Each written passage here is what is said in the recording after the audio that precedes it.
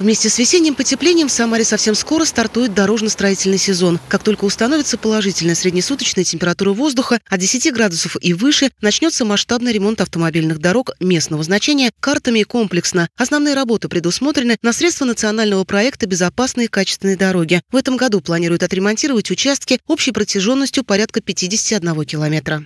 В целом, если говорить о э, планах работ на этот год, то это более 31 объекта.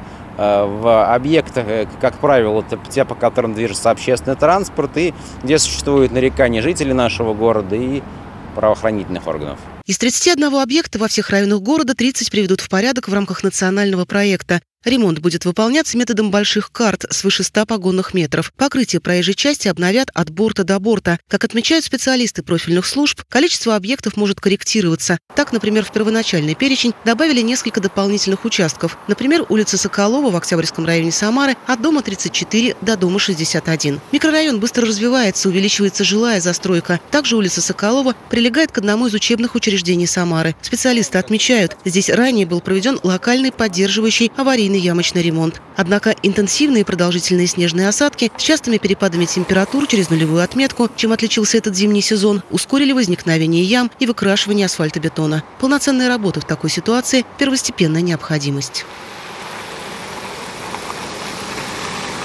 Еще один объект – улица Сергея Лазов в Красноглинском районе. Здесь пролегает одна из центральных дорог поселка Управленческий. Маршрут ведет к обновленной в прошлом году вертолетной площадке, одному из любимых мест отдыха горожан и гостей региональной столицы. Дорожной инфраструктуре также уделяется повышенное внимание. Жители Управленческого и автомобилисты инициативу ремонта поддерживают.